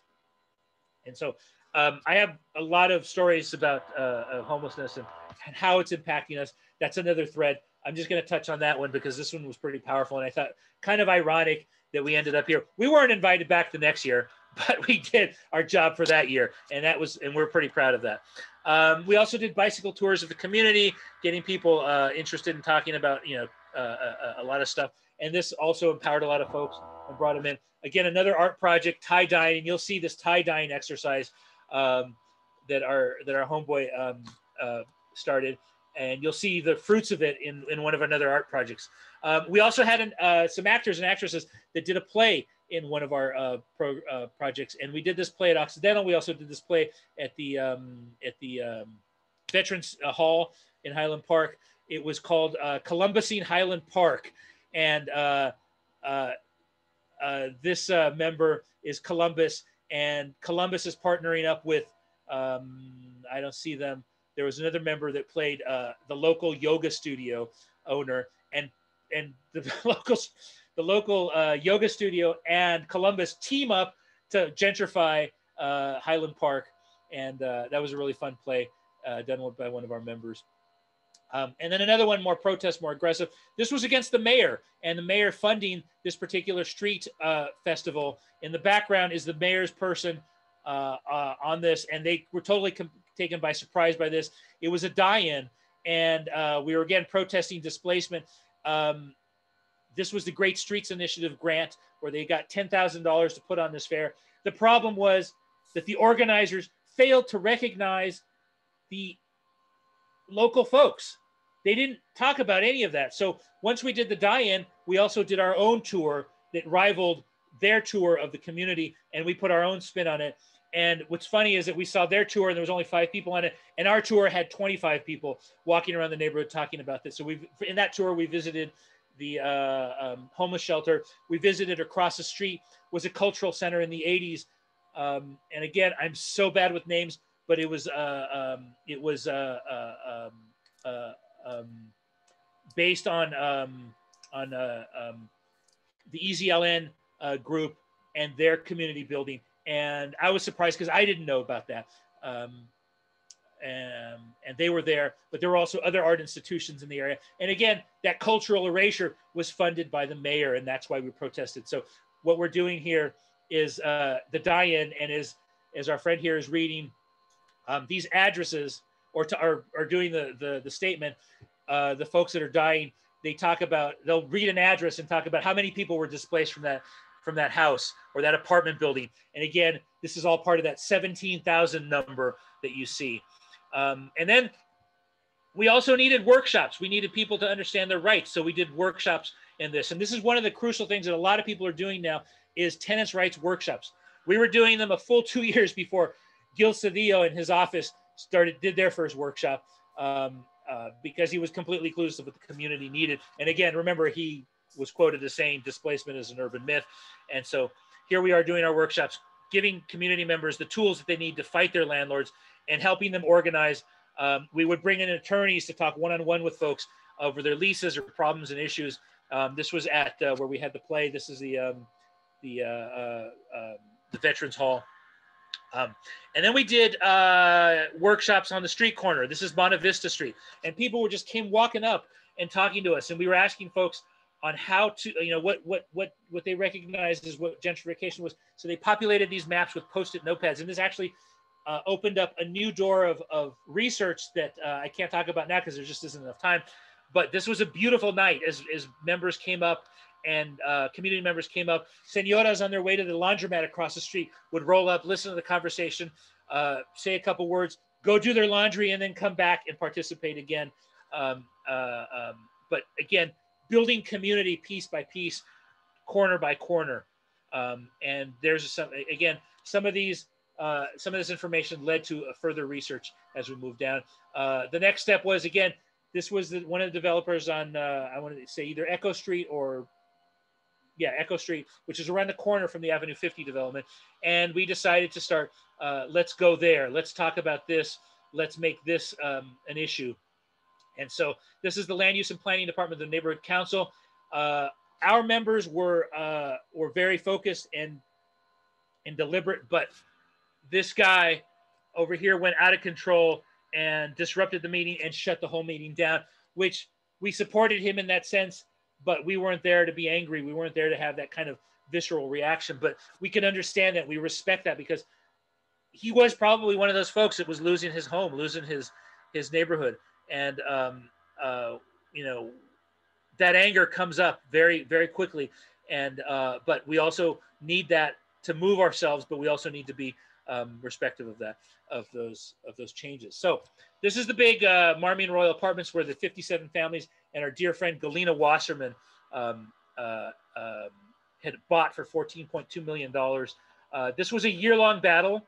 Uh, it started one day. We organized. We we we we heard about this building sale, and as you can see, there's its original paint color. Um, and we started talking to tenants. It was a hot July day, um, and uh, we knew we were we knew we were winning because tenants would come out with cold sodas for us and tell us, um, uh, uh, uh, you're doing great work. Uh, please help us organize. And so we ended up talking to all 57 families. We organized about 45.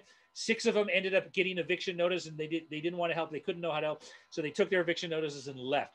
But we ended up with 45 people in a tenants union called uh, the Marmion Royal Tenants Union or Unión de Inquilinos del Marmion Way or Marmion Royal.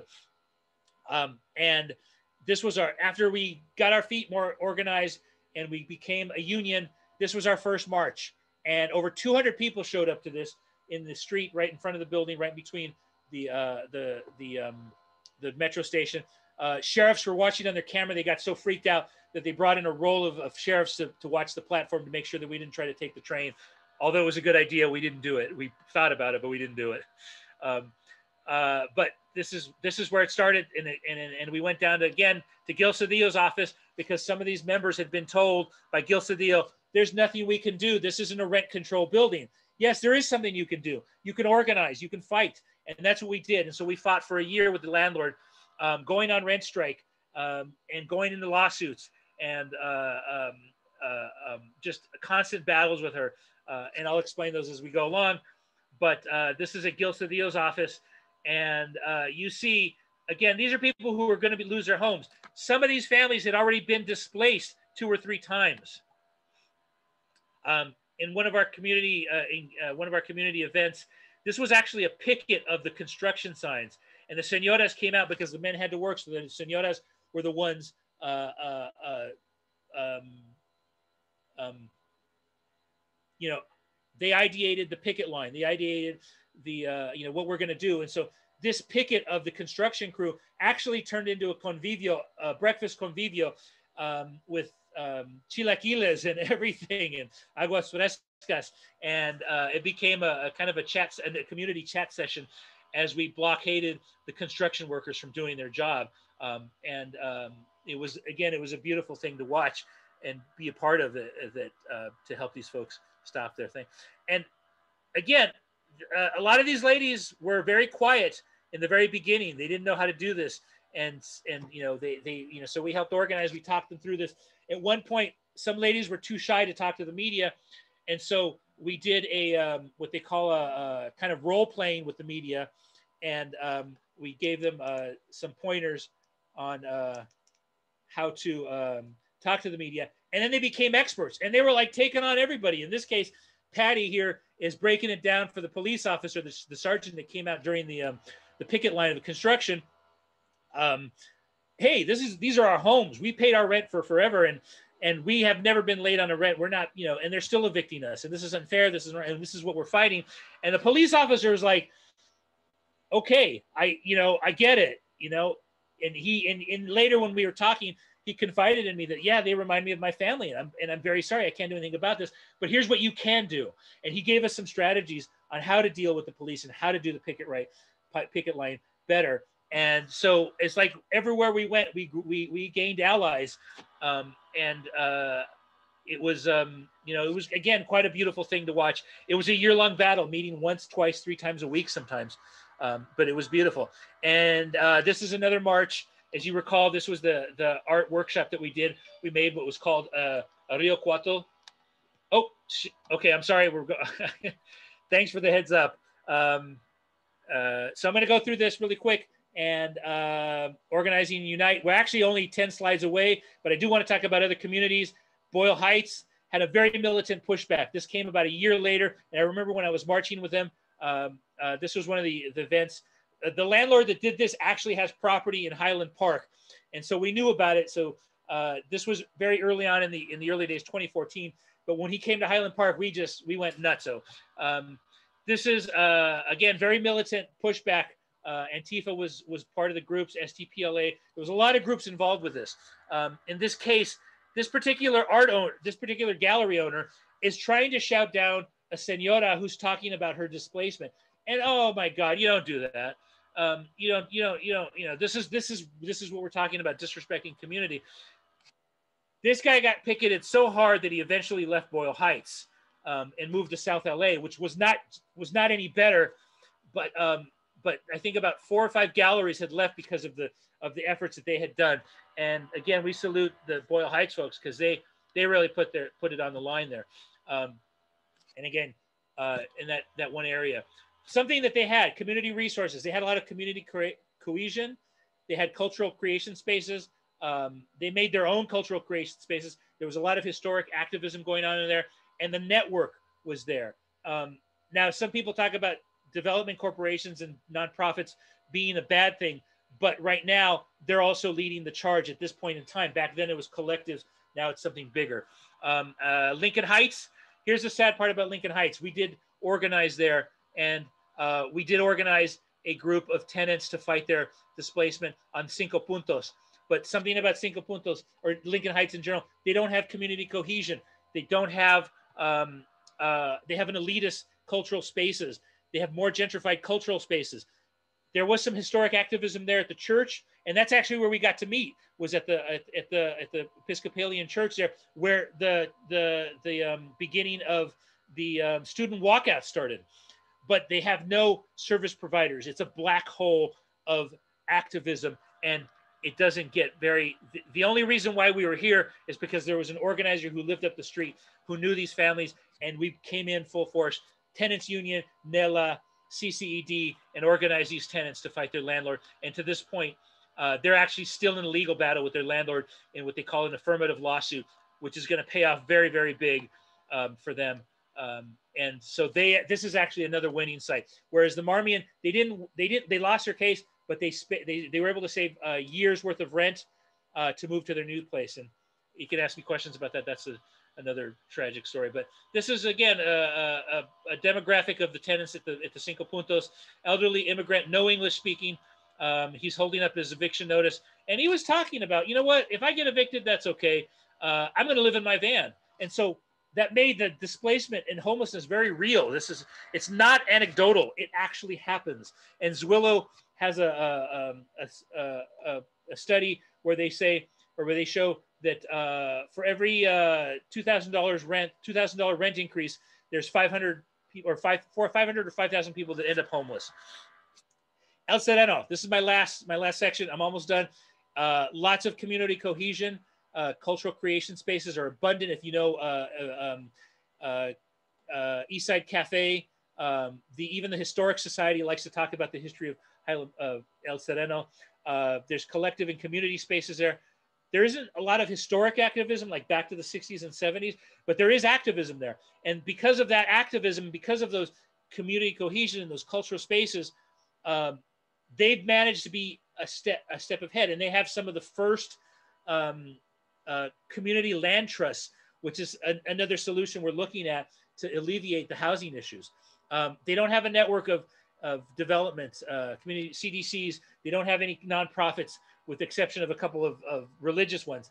Um, the network of community organizers is a very different look than Highland Park and a very different look than um, other areas. And I mentioned the CLT already. Um, but you see, this is Eastside Cafe and uh, organizing a building of tenants, uh, um, actually two buildings of tenants at this point um, during this, this, this history. But again, you see this community cohesion and the muralism is part of that um, surface idea of where the community cohesion is. This is a Semilla school. And again, they put a lot of culture into the community itself and the language they use and the um, indigeneity that they practice there is something that uh, that permeates through the community and how they learn um, and, uh, and and what makes it gives it community cohesion and so these are i'm done i will go to questions these are some of the researchers that we worked with from all across sotomayor high school lincoln high school uh, oxy um, couple oxy groups cced tons of people uh, these are some of the photographer credits from the Sin Turistas group um, and then uh, the researchers in the, their very first research project uh, was um, was the uh, displacement. And I'll leave you with this. And I'm sorry I talked too much. Thank you for listening. Um, please, somebody say something because I'm All tired right. of hearing my I'll, own voice. I'll say something right now. Thank you so much, John. That was, uh, you know, it was a it was a lot of information, but a lot that I hadn't been aware of. Uh, that uh, that really explains what you just see with your eyes. You know, like you say, I do travel back and forth. If, if you could please stop your share screen. Uh, oh, sure. Yeah, um, yeah, I see with my own eyes as I as I travel on the gold line from one place to another, and then uh, th- th- this is my community uh, in the Northeast LA. You know, the, uh, that uh, you you're you see the the big changes, you see the displacement, you see the homeless, the changes of the of the businesses themselves, the, the makeup of the people just walking the streets uh, and it's all real, and it and it has progressed as you as you say. Echo Park, uh, Silver Lake, of course, a long time before Echo Park, Highland Park, and this community, which is being impacted in a in a in what is a real strategic way. But then you and and the groups that you're involved with are taking that strategy and, and using your strategies to combat this.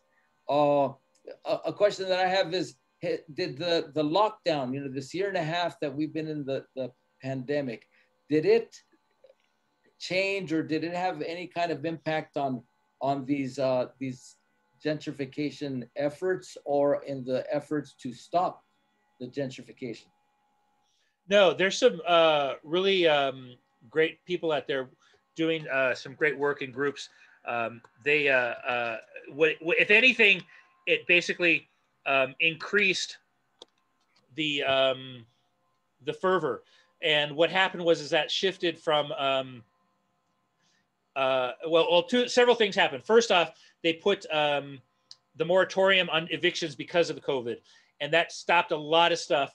But as those evictions or as, as this moratorium starts to unwind, you know, some people are saying there's going to be a tsunami of evictions. But then I think the the governor also put a moratorium, and he's going to pay for the rent on some of those people that are getting evicted. So there's a lot of in this particular state, there's a lot of of of, of stop measures. Um, one thing though that did happen that was that uh, that so I think the COVID helped in some part, but another thing that happened is that mutual aid, when people weren't out organizing and talking to neighbors, mutual aid became the source or the or not the source, but the uh, kind of goal to help other communities. And so a lot of the tenants' rights folks turned into mutual aid, helping some of the, the tenants that they were working with that didn't have jobs that needed food. So you saw food banking go up, and you saw a lot of that res- the resources go to to uh, distribution of food and resources like that. Um, what uh, we did, uh, the couple things that, that happened, I saw a question in the chat there that what happens next? Well, what happens next is we started a couple years ago. And mind you that some of these struggles are, are also from 2014, 2015, 2016, 2017, even 2018. But during the COVID, we uh, in 2018, we were already talking about land use and planning and we were doing teach-ins about that.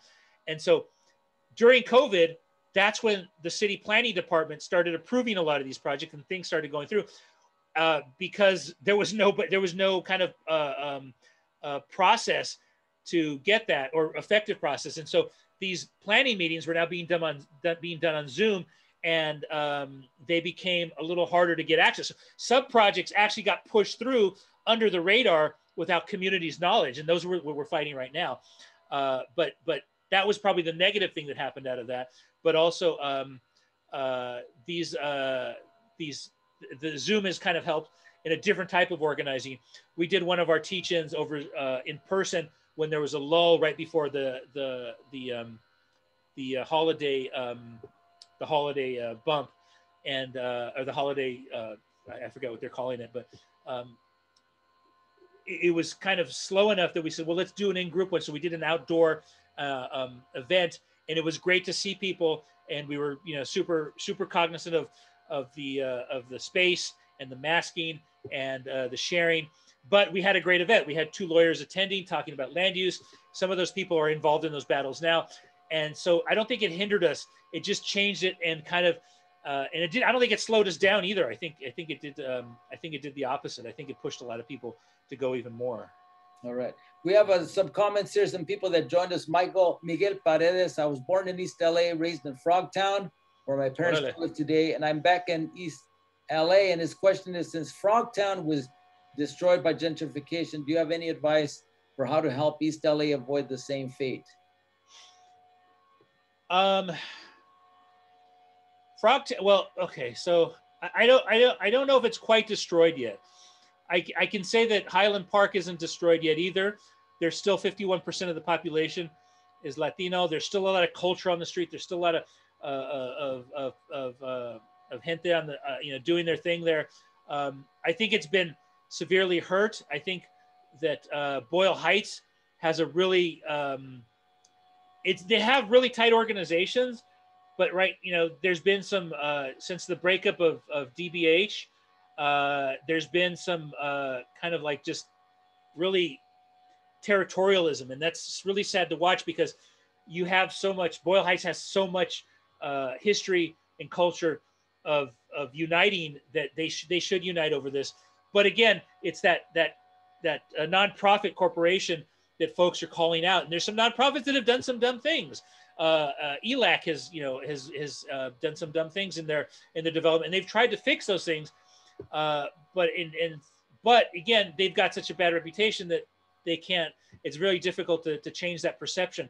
So now anything that's built, and we've had this in Lincoln Heights, again, in Lincoln Heights, because it's devoid of, of, of really some of connection, uh, there were, uh, ELAC develops um, affordable housing and, uh, and the minute they put a sign up that says there's gonna be affordable housing here, people jump on it that it's gentrification. And affordable housing is something we need. Uh, in Lincoln Heights, we had the five lots. Um, that was five, uh, five affordable lot housing projects that we needed. Unfortunately, they were tied to Cedillo, and everybody hated Cedillo, so nobody wanted those projects built, and and so they didn't get built. Um, sadly enough, but uh, um, but uh, I guess I, I, I think that uh, the collectives and the people on the street and the community uh, need to get together. And I know the community folks are more interested in, in uh, community land trusts and uh, and building. Uh, there's a there's another group that just came out that's doing um, uh, shared ownership. So so six families can buy an apartment building. They're hoping to try to, to figure out a funding mechanism for that. Uh, I forgot what they what they call it. And, and, again, I'm really bad with names if I don't have my notes with me. I can write it down and, and, an article and tell you about it, but my brain is too filled with facts and stuff. So so but that that initiative of of community living and co-op living of buying a property and dividing it between six or seven or eight families or more uh, is an issue that's out there, but they need to find the funding mechanism. Same with community land trusts. And so there's a couple of collective groups working on that. And there's even some nonprofit groups working with collective groups on how to do that. So um, I think uh, the people that have been very militant have done a great job at bringing up the ideas of that. Um, and, and I think they should continue to do that and point out the things that are wrong. But I think we also need to take the next step and uh, figuring out how to um, you know, Boyle Heights is 81% renters. How do we convert those renters into ownership, into not just ownership of culture, but ownership of the land? Um, and that's that's the that's the problem that I think some of these the folks need to solve. All right, thank you. Uh, just uh, some people that tuned in, uh, Allegra, Padilla, thanks all who made this possible. It's important to get involved on all levels. Uh, Vanessa Delgadillo, she's uh, watching from Glassell Park, hashtag Nela. Uh, Mona Garcia, hate that I'm ready to purchase and can't realistically purchase in Nela where I grew up. Uh, Patricia yeah. Nazario, this is an awesome talk. Isabel Rojas Williams, good job, John. Abrazos. Isabel. yeah, abrazos fraternales. Uh, Patricia uh, Nazario is asking, I'd be curious to hear more about political inaction, say Gil Cedillo's office, and how that affects communities you caught me on the right day. Okay. so um, we're doing a, a couple projects. Uh, yeah, Gil Cedillo is, is useless, uh, but we're also in El Sereno, some of the, the groups that I work with. Uh, and El Sereno uh, is facing, I told you, uh, 32 homes, uh, luxury homes. That one might be cut down because of, or cut down or, or, or blocked because of the environmental impact. you know, there's also some potential that it's going to hit, um, destroy uh, some indigenous land, uh, as well as some uh, some rare and protected trees. But the big one is the 42 small lot homes on, on Lombardy and Eastern, which is uh, closer to USC and closer to Cal State LA. They want to take a five acre hillside and cover 70% of it with concrete. Now, it's funny because the developer talks about it and he says, we're going to have 30% of open space um, when, when they sell the project and they use their PR machine. Uh, but then again, we're looking at almost 170 trees, uh, an urban woodland uh, with rare, uh, rare and protected uh, um, uh, black oak, black, black, black oak trees that are um, 39 of them are going to be pulled. Now, this is one of the only areas in the world that has this many trees. In Southern California, there are very few. Southern California is the only place that has them. This is the area in El Sereno is one of the only um, uh, areas that has this many trees. Um, and so that's going to be lost. They, they're pulling 39 out, 39 of them out, but the other 130 are going to be uh, at risk because they're covering it with so much concrete. And and our one of our our, te- our team folks, an arborist, uh, always talks about how these trees will suffer from uh, the concrete or, or suffer from the concrete that they're going to pour around there because it doesn't allow them to breathe. And um, if you're anything and you understand the, the mycelial network of how the ground and the earth work and how trees communicate with each other, you'll realize that, yeah, that's true. 70% of the hillside is going to be covered in concrete and it's going to kill the rest of the trees off eventually.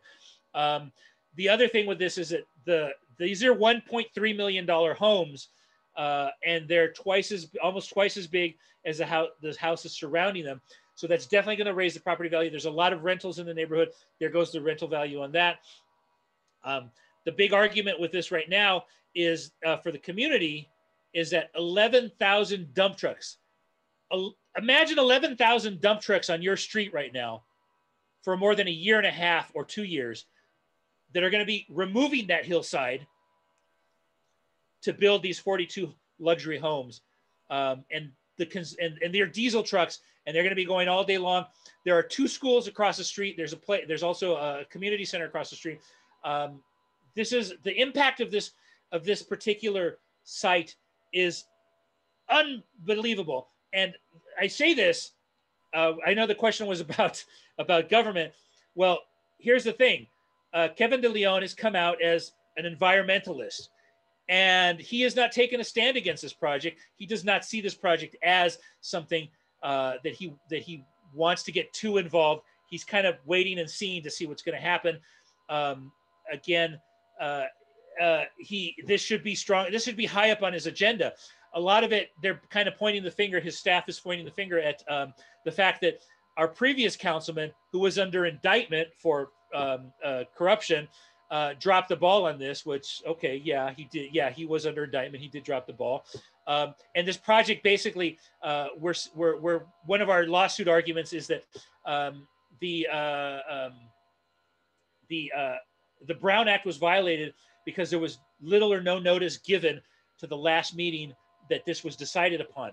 And there was nobody there from the community. In the first meeting, 20, 30 people stood up and talked and spoke against this. Letters were written, all kinds of uh, pushback. And then the meeting after that, nobody was there to discuss it because there was no notice given to the community that this was even under uh, under uh, uh under a vote. So they voted for it. They said yes, um, and now we have this project, and uh, we're again we're, we're we're we're saying no, and so we've instituted the lawsuit against us.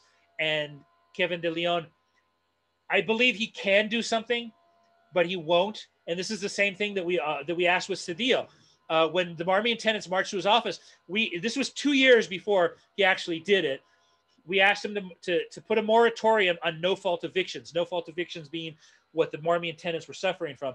Well, he didn't do it for two years, and finally he did it when COVID and, and more evictions started to happen. He was, you know, he he started he became a friend of the of the uh, of the tenants union and such.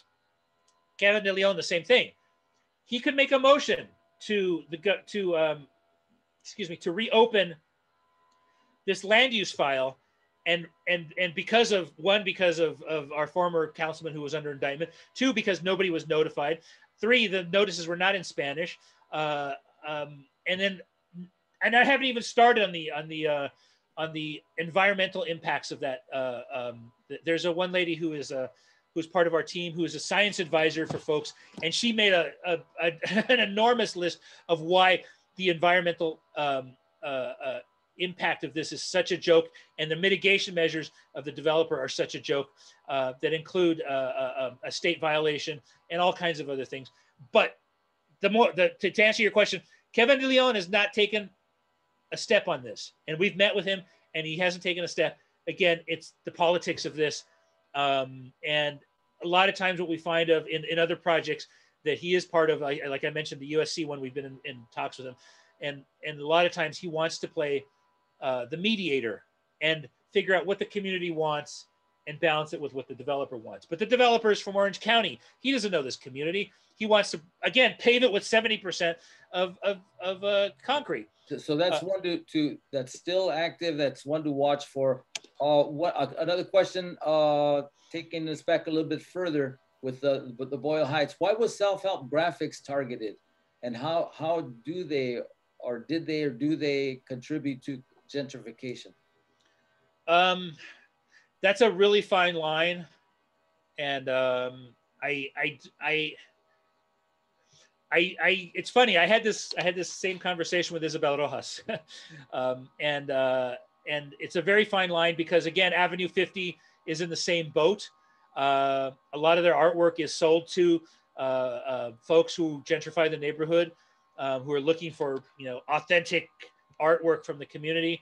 Um, and uh, um, but I think this was this was before, and in self-help graphics case, you have to realize that, that the self-help graphics that a lot of us knew is not the same self-help graphics that's there now.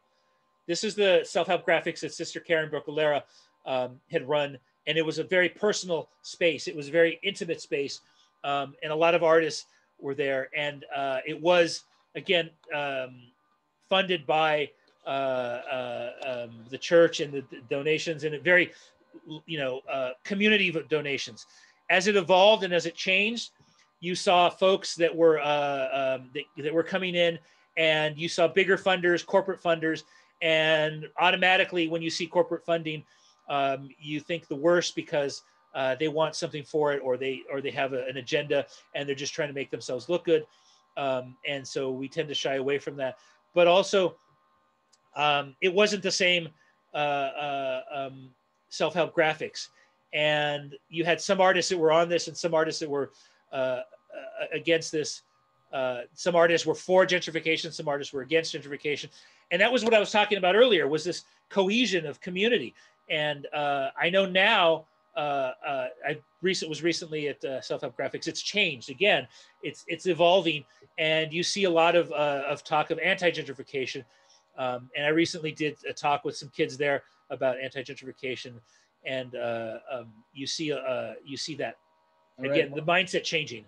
All right. Well, one final question: What is the role of artists as our community hosts a large sector of artists? This from a from Highland Park or could anywhere really? Well, here's the here's the the the tragic part is when you say when you ask that question is that I have to think about all the communities that I see there, and I go to I, I think of Lincoln Heights, and um, the cultural institution that's there uh, again was an elitist cultural uh, elitist cultural institution. Uh, and the artists that are there that are working there are primarily white artists and primarily gentrifying artists and and part and, and participating in that. And I remember getting into a really big discussion over uh, Instagram with a photographer at the brewery over gentrification and how he believes that he's doing good for the community when he comes in here and rents a space and um, you know and, and, and, tries to argue his point about uh, uh, about why why gentrification is good and i'm like no no no no you're missing you're missing the entire displacement you know point of view um, and so, uh, uh, but then you look at Highland Park, and Highland Park has a long tradition of, of artists going back to the 70s and the arts and the, the, the major arts collectives there uh, from the 60s and 70s. Um, and again, I'm, my name, my uh, names are drawing a blank uh, up to, but then even into the 80s, I was talking about that, that EZLN uh, style collective that was off of 56. Um, they, there, there's another arts collective and uh, today, uh, I mean, you go back to the history of, of Highland Park, and it was essentially the first artist community. You have white artists and uh, brown artists all at the um, all at the same thing in the same community. Uh, the first artists were there were white artists that uh, were there that came over with um, the founder of the Southwest Museum. Um, I forget his Lummis. name because what's that? Lummis. Lummis, yes, thank you. Uh, names and they're big, uh, big soup of names. Uh, and Lummis, and you look at uh, up on uh, up around Garvanza area, you have some of the first arts collectives up there. Is uh, the Glass Studio uh, that's right there, and then also the printing press that was run by um, another another well-known artist family, um, Jackson Browne's family, who who ran the first printing press in the area. Um, and so it, it, there's just a long tradition of it in El Sereno, it's community artists. All those murals that you see there are community, uh, you know, uh, expressing themselves. So I think if you're going to say artists, you have to use the term uh, more specifically to the people that uh, that are there, that uh, are longtime residents, and how can they create art? So if you're an artist and you and you can teach art, then teach it to the community. If uh, if you're an artist and you're making art um, and a lot of the folks I've seen and found in the movement are uh, artists, uh, not just from NELA but even in uh, the um, in the uh, LA Tenants Union. There's a lot of writer and artists in those in those groups, um, and they're activating themselves and using their skills to create this this bigger movement and, and make people aware of it. Um, yeah, I don't know if that answered the question. Well, it, it, I think you did. You might have. Yeah. uh, anyway, uh, just final uh, thoughts here from from some of our Facebook uh, compañeros here. Uh, Miguel Paredes, well, he, he, he you had mentioned uh, he said that it was destroyed. You said it's not destroyed yet. He makes a differ. He says his frog town was destroyed by gentrification. That's not coming back. He sees East LA as a mecca for the Chicano. So he's trying himself to save El Pino and create a green space instead of allowing developers in East LA. And then uh, finally, Carlos J. J. Leon says City Terrace is next. So, uh, so with that, I know that uh, what you presented, John, a lot of information, very complex, but at the same time, very, you know, it's we, we feel we feel the effects of displacement, of homelessness, of of uh, of gentrification, and you just layered it with with a lot of data that uh, uh, at the face of it is is daunting, but just the way that you presented it, we're able to to to pinpoint what the issues are and how they could affect not just those uh, particular sections that are in the process of being developed, targeted for development, but also the, how it affects the surrounding areas and, and how it's really just, uh, you know, making it difficult for people to live in the places that they want to live, uh, our community. Um, with that, John, thank you so much for, for being with us tonight. Uh, we broke the record here, John. I'm sorry. I'm no sorry. problem. No, no, I'm happy. Uh, it's a lot of info. All of you out there who, who stuck it through the whole thing, congratulations. If you didn't catch everything, you came in a little bit late, you want to see the entire uh, uh, session, we've recorded it. We're going to place it on our YouTube page probably tomorrow. It'll live on our Facebook page at La Plaza LA, YouTube at La Plaza LA, and we also post them on our website, lapca.org. That's where we've had, we keep all of our En Casa con La Plaza sessions, uh, and this is, this is, this will be one. Um, coming up, yeah, we're, we're going to do it one more time this week with uh, the return of Dan Guerrero. He was supposed to have come on a couple of weeks ago with a music producer, entrepreneur, and the father of Selena, AB, and Susana Quintanilla, Abraham, Abraham Quintanilla. He'll be with us this Friday, both of them with, on July 30th at seven o'clock, joined by Nancy de los Santos.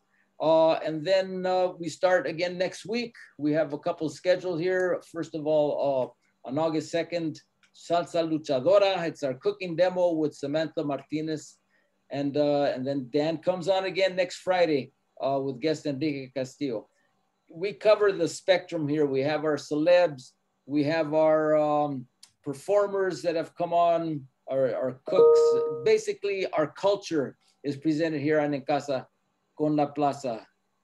History, art, culture, music, uh, and mucho, mucho más. A lot of it reflected on our exhibitions there at La Plaza de Cultura y Artes, where we do have in our LA Starts Here um, exhibition, we talk about uh, gentrification, we talk about uh, redlining, we give those stories that John so, so uh, both eloquently and also so, so powerfully uh, um, you know, presented tonight. It's a lot to, to really take in. But but thank you for that, uh, John.